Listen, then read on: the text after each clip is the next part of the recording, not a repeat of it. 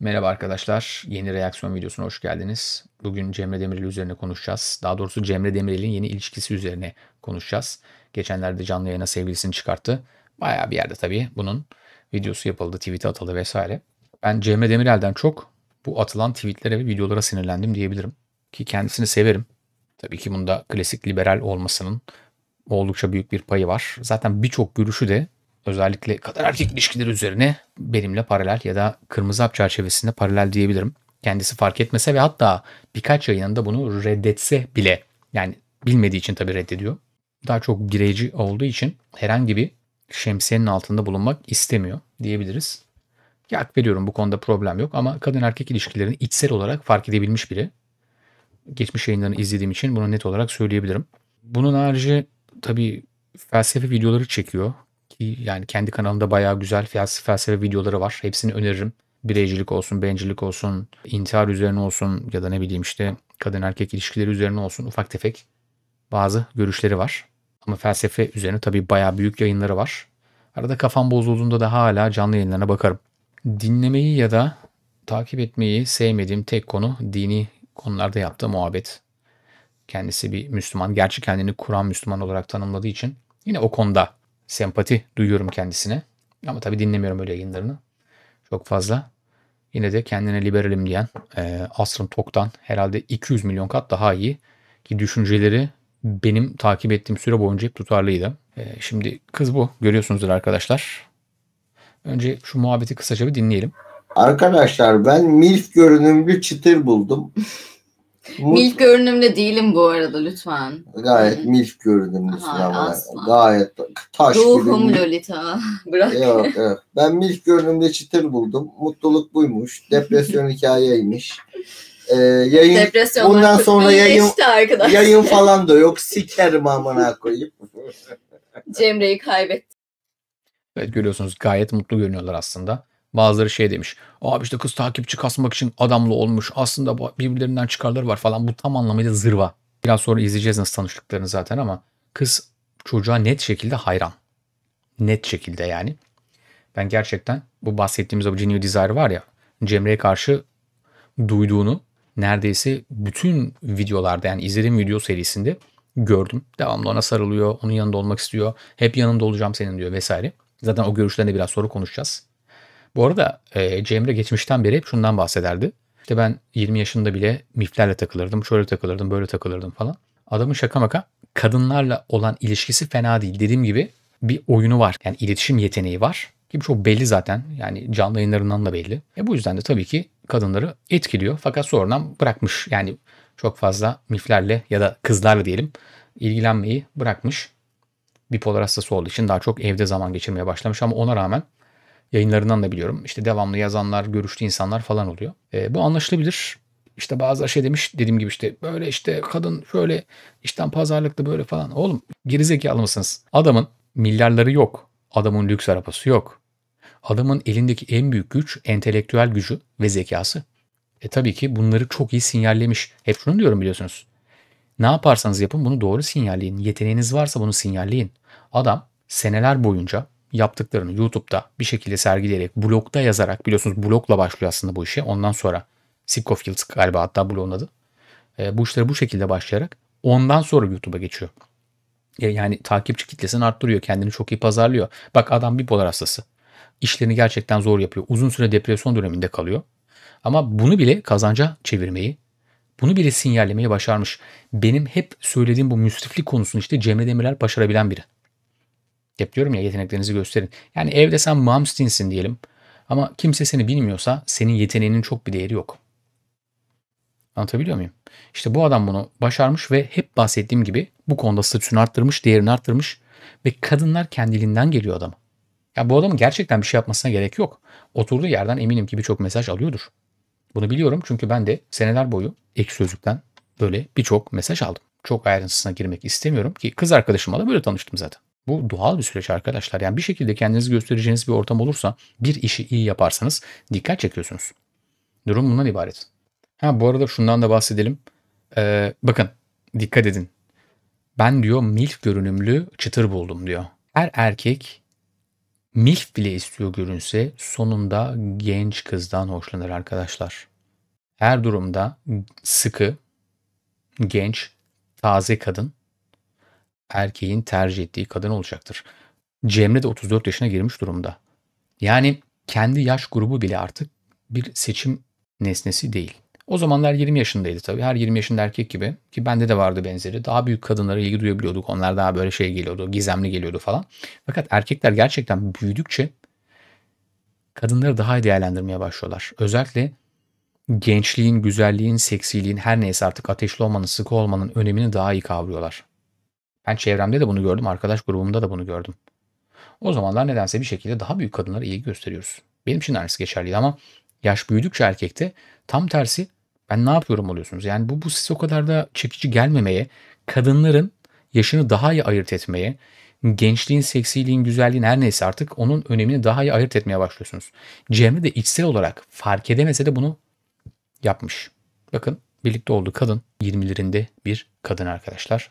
Ve bahsettiğimiz kriterlere uyan da biri. Evet neyse ee, şimdi buradan devam edelim. Nasıl tanıştınız anlatsanıza. Anlat Ee, benim elimde bir sürü kitap vardı. Onun elinde de bir sürü kitap vardı. Çarpıştık bir aşk yaşandı orada. Çarpıştık ve İlk görüşte Evet. aşk arkadaşlar. arka planda da Bu arada ben yürüdüm. Sen misin beni Instagram'dan takmayan? Ben yürüdüm arkadaşlar. Bir şey istiyorsanız elde edene kadar devam edin. da panteist tavsiyesi. İşte tam olarak bunu söylüyorum arkadaşlar. Gördüğünüz gibi Instagram'dan önce mesaj atmış. Cemre çok sallamamış. Ondan sonra üzerine gitmiş ve adamı baştan çıkartmış. Eğer yeteri kadar değerli bir erkekseniz bir şekilde baştan çıkartılıyorsunuz. Ve mesela bazı saçma sapan yorumlar gördüm. Cemre gibi adam yani şu tipiyle işte bilmem neyle nasıl kız bulmuş nasıl ya falan böyle bir şey olamaz. Kızın kesin başka bir şeyi var. Kesin takipçi kasıyor. Yahu kızın takipçisi işte 2000'miş 4000 olmuş. 4000'de mi influencer olacaksın? Kaldı ki kız bakın videoda da izlediğimiz gibi ne kendi ismini veriyor ne Instagram'ını veriyor. Bunların hepsini aslında hepsinin bilgisini veren temel olarak Cemre. Yani kızın ben böyle bir amacı olduğunu düşünmüyorum açıkçası. Demin dediğim bu zırva bir tanım. Kaldı ki Cemre tipsiz bir adam da değil. Bu da ayrı mesele. Yani evet biraz bakımsız vesaire falan filan. Biraz kilo problemi var. Evet anlıyorum. Evet biz hep maskülen olun, olabildiği kadar vücudunuzu iyi hale getirin diyoruz ama bu bu her zaman şart değil arkadaşlar. Yani bazı konularda gerçekten kendinizi öyle bir geliştirirsiniz ki, öyle bir reklamınızı yaparsınız ki başka hiçbir şeye ihtiyacınız olmaz. Ve bazı insanlarda da gerçekten şeytan tüyü vardır. Bir şey yapmadan kadınlara ulaşırlar ve siz asla nasıl ulaştıklarını anlayamazsınız. Bu işte bir çeşit müsriflikle alakalı. Hep aynı şeyi söylüyorum, hep aynı örneği veriyorum. Kendi reklamınızı iyi yapmanızla alakalı, kendinizi dışarıya doğru anlatmanızla alakalı, oyununuzla alakalı, iletişiminizle alakalı. Ha tabii ki şu an Cemre'nin mesela fiziksel olarak vücudu daha iyi olsaydı çok daha fazla kadınla birlikte olurdu ama şöyle bir olay var. Acaba bunu istiyor mu? Anlatabiliyor muyum? Gerçekten başka yani daha fazla kadına ulaşmak istiyor mu? Yoksa hep söylediği gibi derdi acaba şu bipolar probleminden kurtulayım mı? Muhtemelen bipolar probleminden kurtulayım modunda. Yani daha fazla kadın olsun, şu olsun, bu olsun falan hiçbirisini umursadığını zannetmiyorum. Zaten bu kadar kilo vesaire hepsinin nedeni de temel olarak depresyon. Yani bipoların neden olduğu depresyon diyebiliriz. Yani burada tam olarak kadının Cemre'ye duyduğu bir hayranlığı görüyorsunuz. Ve bunu anlayabiliyorum dediğim gibi. Genuine Desire dediğimiz şey aslında böyle bir şey arkadaşlar. Neyse devam edelim. Bir de diğer videosunu izleyelim. Yani en son sikimi açtığımda bu kadar izleyicimiz vardı. bir de manita çıkardık onda 4000 kişi. Allah Allah. Bu, bu güzel aklı illaki bir de şey düşünsene hem sen varsın hem de sikimi açıyorum. Ay yok ona izin vermem merak etmeyin. Bir kıskançlık örneği, güzel bir kıskançlık örneği hatta. Yani yine aslında adama olan hayranlığını görüyoruz ama ilginç bir durum. Gerçekten ben de mi kız arkadaşımı çıkarsam acaba? Bunu bazen düşünüyorum. İlerleyen dönemde böyle ben de eee, çift yayını falan mı yapsam? Neyse arkadaşlar bu işin esprisi. Devam edelim. Şimdi bu kısımda da Cemre şöyle diyor. Yani ben depresyondayım. Bir süre sonra beni bırakacaksın. Çünkü bana dayanamayacaksın diyor. Biraz videoyu izleyelim ondan sonra üzerine yorumlarız. Konuşuruz. Gelecek şey değil. Aydınlık değil hani. Gördüğünüz sala diyorum ki bak ben hasta bir insanım. Benim depresyonumdan bir süre sonra bıkacaksın. Yok Yok, diyor. öyle Ha, ha diyor. Biz e, aynı ev- biz aynı evde yaşama planı yaptık bugün bu arada. Onu Ee, ihtimalle gerçekleştireceğiz. O yüzden Evet. bakalım. Evet, Yakın bir zamanda beraber evet, evet, tekrar. evet, evet. Çünkü çünkü çünkü bir süre dayanır. Ömür boyu kimse bana dayanmaz. Annem bile şikayet ediyor. Ben Sen dayanır mısın? Ee, o yüzden gelecek benim için aslında pek aydınlık değil. Şu an sadece anın tadını çıkarmaya çalışıyorum içki içerek. Güzel bir kadınla beraber olarak anın tadını çıkarmaya çalışıyorum. Ben bırakmayacağımı çok kez söyledim zaten. Yok ben sülük gibi yapıştım ben bırakacağımı zannetmiyorum zaten. Çok saçma bir şey yapıyorsun o zaman. Çok Ha, saçma. umurumda değil biliyor musun? Saçma olsa da. İşte panteistsin o yüzden amına koyayım. Hislerinle hareket ediyorsun. Aklınla hareket etmiyorsun. önemli çünkü saf sevgiye inanmayan bir insana bunu anlatamam. Anlatamam Ben saf- ama ben hissettiklerimi Ben saf sevgiye asla inanmıyorum. Bakın eee, görüyorsunuz başta da bahsettiğim gibi Cemre bazı şeylerin farkında olan bir erkek. Kadın erkek ilişkilerini içsel olarak yine bilen bir erkek. Yani diyor ki ben böyle hastalığım nedeniyle devam edersem bu kadın benden bir yerde vazgeçecek diyor. Çünkü performans yükünü aslında kaldıramayacağının farkında. Ve haklı da bu arada. Bunu iyi kötü zaten kırmızı hap ekseninde görüşleri olan herkes söyleyebilir. E kadın tabii yine burada söylediği gibi ben panteistim. Yani sen panteistsin bu yüzden duygusalsın diyor. Panteist olmasına gerek yok. Yani duacı olmasına gerek yok aslında. Duaya tapmasına mı diyelim neyse artık. Gerek yok. Kadın olması yeterli. Duygularıyla karar veriyor. Ana göre düşünüyor. Şimdiki zamanda düşünüyor. Diyor ki şimdiki zamanda ben bu adamı çok arzu duyuyorum. Kesinlikle bırakmayacağım diyor. Ama şunu biliyoruz. Kadındaki arzu barı ve minnet barı birbirleriyle her zaman denge halinde olmalıdır. Eğer Cemre gerçekten performans yükünü kaldıramaz, günlerce ayağa kalkamaz, sevişemez, kadına kötü davranır ya da ilgisiz davranırsa zamanla belli bir yerde kadın minnetle o ilişkiyi ayakta tutmaya çalışacaktır. Fakat arzu olmayacaktır. Ve burada da ilişki bitecektir. İlişki sona erecektir. Bu beklendik bir durum ve Cemre bunun farkında. Kadın bunun tabii ki farkında değil. Çünkü hep ne diyoruz? Kadınlar şimdiki zamanda yaşarlar ve gelecek konusunda fikirleri değiştiğinde geçmişteki düşüncelerini önemsemezler. Yani gelecekte bu kadın vazgeçtiğinde şu anki düşüncelerini umursamayacak. O zamanlar böyle hissediyordum demeyecek. Ya dediğim gibi yani Cemre bunun farkında. Adamda doğuştan bir ya da doğuştan demeyelim belki tabii tecrübeyle öğrenilmişlik bir durum da var. Bir, bir, bir farkındalık var. Tamam 6 ay sonra bunu konuşuruz tekrar yayında. Yok Ben 6 de ay dahil. sonra değil. Bir süre katlanırsın tabii ki. Bir süre 6 ay çok uzun bir süre farkında mısın? 6 aya uzun diyorsan bana ömür boyu yarrak katlanırsın amına koyayım. Sürekli hasta bir adam var evinde. Ihlayan, vahlayan, şikayet eden, yataktan kalkmayan, Cemre gel şuraya gidelim diyemeyeceğin bir adam. Bununla yaşayabilir misin sen? Bu oyun değil. Ben buyum. Ben buyum. Ben 6 ay bir geçsin de bakarız vesaire. Bu arada kadın şimdiden planları yapmaya başlamış. Birlikte yaşıyoruz, şöyle yapıyoruz, böyle yapıyoruz falan. Ama muhtemelen Cemre ile sadece bir süredir birlikte.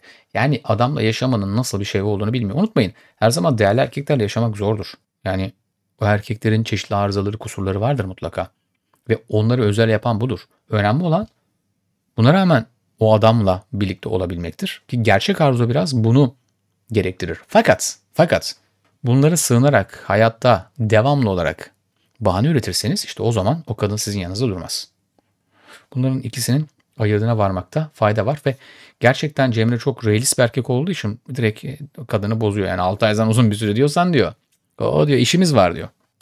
e, ç- şeye inanmıyorum. E, şu anki samimiyetine kesinlikle inanıyorum. Bakıp Ama- gideceğimi düşünüyorsun. Evet. Benim Zamanı geldiğinde direncin düşecek. Çok iyi. İşte bu. Ee, doğal yetenek böyle bir şey. Ben inanıyorum diyor. Şimdiki zamanda böyle söylediğine buna inandığına inanıyorum ama gelecekte diyor bu fikrin değişecek diyor. Direncin kırılacak diyor. Evet böyle olacak çünkü. Haklı. Peki devam edelim. Ayrıca ben o kadar da zaten sevilmeyi hak eden de bir adam değilim ama. Bence öyle. Bence sevilmeyi en Müslümanım, hak bak, eden insanlardan Ben ben ben biri bu kadar Cemre. dal, dalayarak bir adamım ya. Ben Müslümanım deyip içip Cemre mükemmel bir İptalem ee, diye konuşan Yüz yüze görüşseniz o kadar mükemmel bir insan ki. Yani hayran kalırsınız. Daha çok hayran olursunuz. İnanılmaz bir insan çünkü. Ya sevilmeyi en hak eden insanlardan birisi Cemre. Sevmeyi de aynı zamanda. Ben sevilmeyi yaşadım. Ben evet öyle. öyle Babam bir da insan. yaşadım. Diğerlerinde değil. Ee, o bir daha da olmaz. Maalesef olmaz. Bakalım. Bakın yine aynı durum. Kadın gerçekten o kadar yüksek bir arzu duyuyor ki ben seni seviyorum diyor. Her şeye rağmen kabul ettim diyor. Sen hayır diyor. Öyle alayarak bir adam değilsin diyor. Gördüğümde senden daha da etkilendim diyor. Siz de tanışsanız daha çok etkilenirsiniz diyor.